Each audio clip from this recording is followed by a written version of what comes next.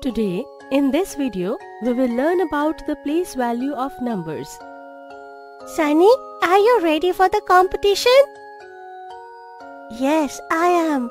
But tell me, what will we get as a reward? Beautiful garland of flowers. Oh wow, let's start. In the given question, what number will come in the empty boxes? Find out. Gaffy, answer this question only after thinking. Hmm.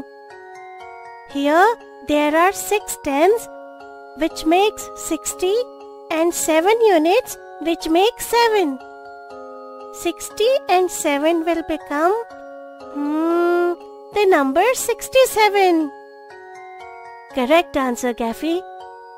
Now I will ask you a tough question. Here 7 is written in the tens place which means 70 and 1 is written in units place which means 1.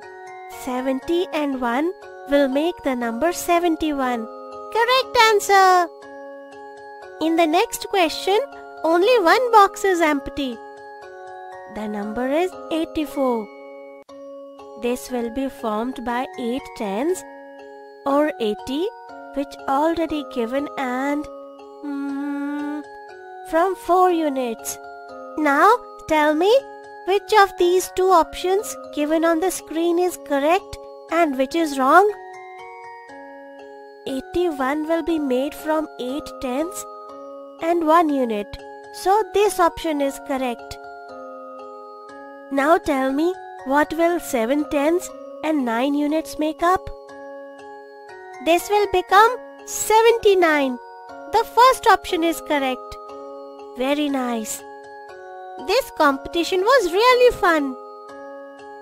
Gaffy, here is your reward. And this is your reward. Children, now it's your turn. Find out the answers to the questions given on the screen and share the correct answers with your friends and family. Children, in this video, we learned about place value of numbers from 1 to 99.